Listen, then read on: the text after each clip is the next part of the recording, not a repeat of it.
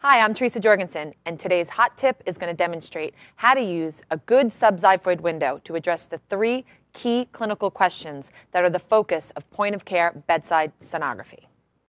Question number one Is there fluid or blood in the pericardial space?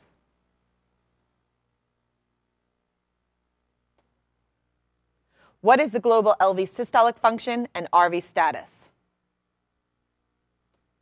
And the third question, volume response.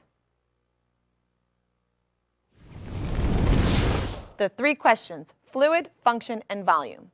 Start off in the subxiphoid window and sweep the beam all the way to the end of the apex and back to your starting point, home base, right there at the right hemidiaphragm. So is there fluid? Next, rotate to 12 o'clock and angle towards the patient's left nipple to get a good peek at global LV systolic function before tipping back to the patient's right hemidiaphragm to obtain an image of the inferior vena cava for volume status. You can see this patient needs hydration. So now what I'm going to do is just to confirm that is the IVC is angled towards the patient's left again towards the heart. Ask the patient to take a small breath in and hold it.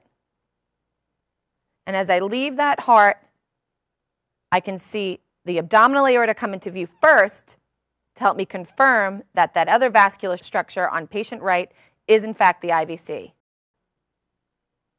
So fluid, function, and volume.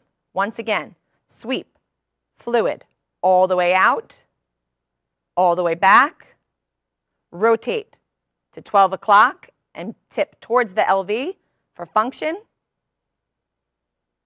before tipping to patient right for volume. Remember, these images don't have to be perfect. They just have to answer the key clinical information that's going to help guide that patient's management. Now it's your turn.